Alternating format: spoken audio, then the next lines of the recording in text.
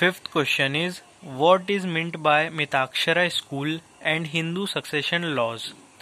So first of all here school doesn't means uh, like where we used to go.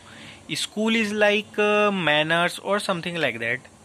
So the answer is under Mitakshara school of law a son acquires an interest in the ancestral property by birth means only male members can become co-partners under this school.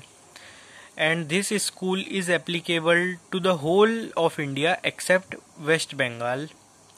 And now Hindu Succession Act uh, 1956 uh, has extended the line of co-partnering interest of female members. Means after this act females can also become co-partners and have an interest in ancestral property.